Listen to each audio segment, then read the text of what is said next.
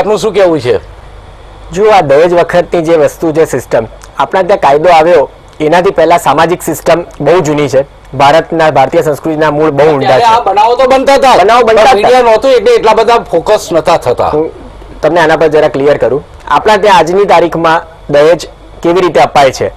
જ્યારે દીકરીના લગ્ન હોય સાત ફેરા પતી જાય આ દહેજ લેવાય છે એની વાત છે. હા એની વાત છે. કે કેવી રીતે સિસ્ટમથી અપાય છે? સ્ત્રીધન કે દહેજ લગ્ન વખતની જે વસ્તુઓ અપાય છે જે રજીસ્ટ્રેશનની આપ વાત કરી રહ્યા છો કે જે મુદ્દો નીકળે છે કે જે રજિસ્ટર કરાવવું જોઈએ ગવર્મેન્ટની કોઈક ઓથોરિટીની અંદર. પણ આ જ સિસ્ટમ આપણું સામાજિક સિસ્ટમ પ્રમાણે કેવી રીતે થાય છે? કે લગ્ન પતી જાય સાત ફેરા પૂરા થઈ જાય પછી દરેક બંનેના કુટુંબના વડીલો ભેગા બેસી અને દહેજ પીરસાય છે.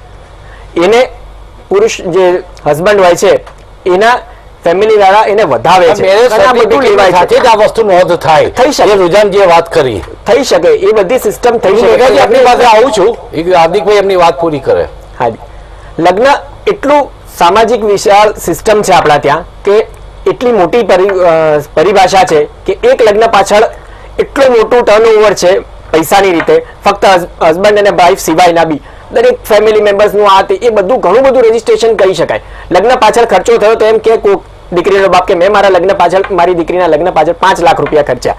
પણ એના ફેમિલી મેમ્બર્સ હોય, એમના કપડાં લીધા હોય, આ તે કરીને એક લગ્ન આપણા ત્યાં બહુ મોટું વાઇડ સ્વરૂપ ફાઇનાન્શિયલી રીતે અને આપણા ઇકોનોમીને મદદ કરતું થઈ રહે છે. એમ જો સ્ત્રીધન કે જ્યારે ઇશ્યુ થાય, ત્યારે એ લગ્નની પાછળ થયેલો ખર્ચો તો કદાચ ગણી જ ના શકાય.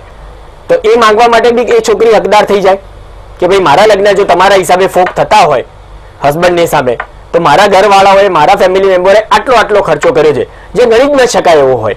એટલે ફક્ત એટલા માટે એક રજીસ્ટ્રેશન કરાવી અને જો એ પૂર્ણાહુતિ કરીએ, એ તો વસ્તુઓ લિસ્ટ અપાય જ છે એકબીજાને. અને એ સમાજના દરેક મે- મેમ્બરો સામે લેવાય છે. પરંતુ એની નોંધણી વિધિવત થતી નથી. આપણો શું અભિપ્રાય છે? પહેલા તો સ્ત્રીધનની વ્યાખ્યામાં લગ્ન વખતે પિયર તથા સાસરિયા તરફથી જે પણ વ્યવહાર કરાયો હોય તે બધો જ સ્ત્રીધનમાં સમાવેશ થાય છે. એટલું જ નહીં. જેટલો જી- લગ્ન જીવનનો ગાળો રહ્યો હોય તે દરમિયાન પત્નીને જે પણ વસ્તુ આપવામાં આવી હોય એ બધાની ગણતરી સ્ત્રીધનમાં થાય છે. અને તે જ કારણસર હું એવું માનું છું કે જો આ જે પણ વસ્તુની લેવડ દેવડ થાય છે, એની જો નોંધણી કરવામાં આવે, તો સરળતા એટલા માટે રહે કે જ્યારે જ્યારે ડાયવોર્સના કેસ બને છે, ત્યારે સ્ત્રીધન એટલે માત્ર પિયર તરફથી આપેલી વસ્તુ એમ ગણી અને સ્ત્રીને ત્યાં સ્ત્રીજન આપી પટાવી દેવામાં આવે છે કે તારું આ તને પિયરિયાની વસ્તુઓ તને પાછી આપી દીધી, કેસ ખતમ થઈ ગયો. એવી જ રીતે આપે જે કહ્યું કે જ્યારે સ્ત્રી ખર્ચો જે માગવાની વાત ચાલી સુપ્રીમ કોર્ટે એક કેસમાં કહ્યું છે કે સ્ત્રીને નોકરી છોડાવી દીધી હોય અને નોકરી છોડાવ્યા પછી એમ કહેવામાં આવે કે તું નોકરી છોડી દે, તારો વર્ગ ઘણું કમાય છે, તારે નોકરી કરવાની જરૂર નથી, એવા સંજોગોમાં છૂટાછેડા થાય, તો સ્ત્રીએ પોતે નોકરી છોડી હોય અને એના કારણે એને જે નુકસાન થયું હોય, એ બધા જ રૂપિયાનું એ કમ્પન્સેશન માગી શકે છે.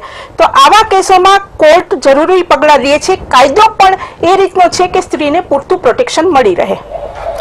મતલબ કે કાયદામાં ક્યાંક હજુ ત્રુટીઓ છે, ત્રુટીઓ દૂર કરવાની જરૂર છે. માત્ર કાયદો ઘડવાથી ચારસો અઠ્ઠાણું એની કલમ નાખવાથી દહેજનું દૂષણ આપણે નાખી શક્યા નથી. કેમ કે ક્યાંક જડબેસ લાખ ઉદાહરણ રૂપ હજુ સુધી આપણે એ પરિસ્થિતિ ઊભી નથી કરી શકી કે લોકોમાં એક સમાજમાં એક દાખલો બેસે.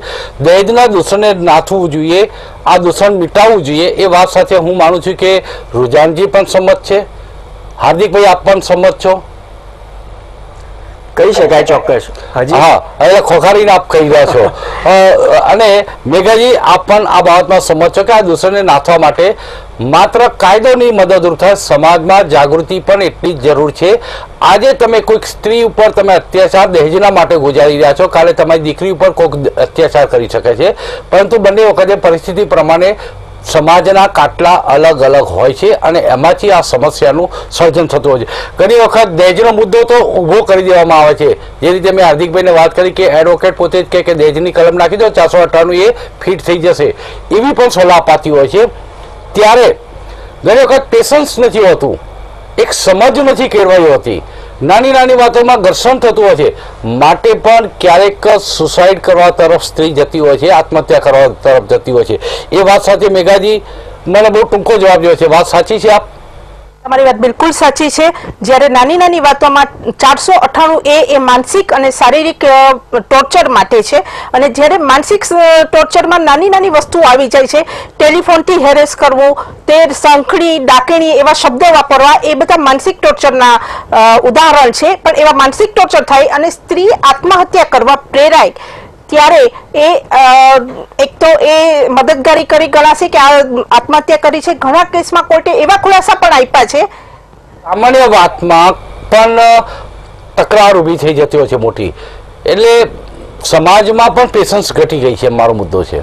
તમારી વાત સાથે સંમત નથી. સ્ત્રી એક છોડ જેવી છે જેને તમે એક જગ્યાએથી ઉપાડી બીજી જગ્યાએ મૂકો છો ત્યારે એને સતત માવજતની જરૂર છે.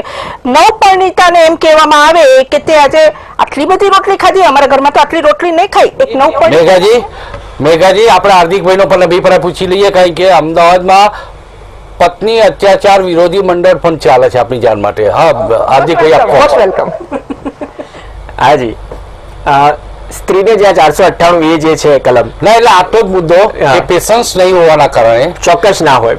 જે માએ છવ્વીસ વર્ષ સુધી એને મોટો કર્યો હોય એ માથી અલગ કરી દે. આપણે અલગ જ રહીશું. તારા મા બાપને છોડી દે. તારી મા સાથે મને નથી ફાવતું.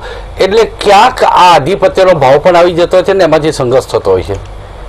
શહેરીકરણનો એક આ માઇનસ પોઈન્ટ કહી શકાય કે સ્ત્રી ભણ્યા બેઠા સંમત ને આપ શહેરીકરણમાં હું સમજ છું કે મેટ્રો સિટીમાં એવા કેસ બને છે કે જ્યાં નાની નાની વાતમાં જે એમ કહેવાય કે પેશન્સ ઘટી જાય છે. પણ બહુ ઓછા ટકા થાય છે.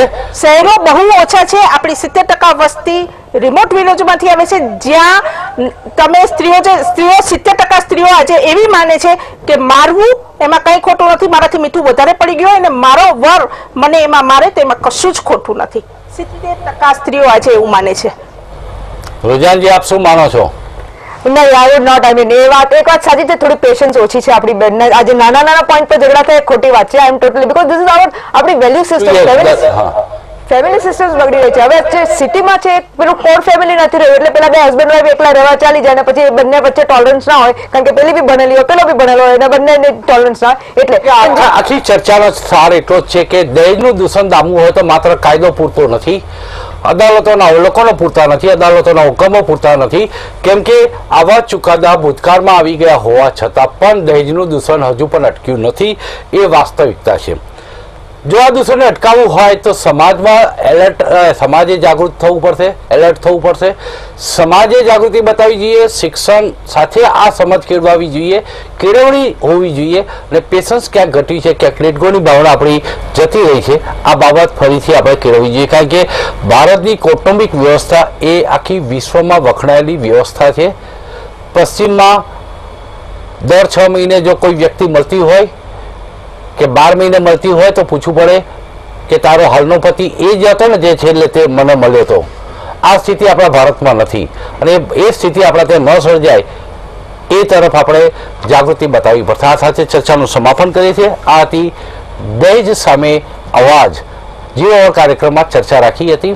ચર્ચામાં ભાગ લેવા માટે મેઘાજી, રુજાનજી અને હાર્દિકભાઈ આ ત્રણેય ઉપસ્થિત રહ્યા. ત્રણેયનો ખૂબ ખૂબ આભાર. આ ત્યારની વાત આવતીકાલે નવા વિષય સાથે ફરી મળીશું. મિત્રો ત્યાં સુધી રજા આપશો.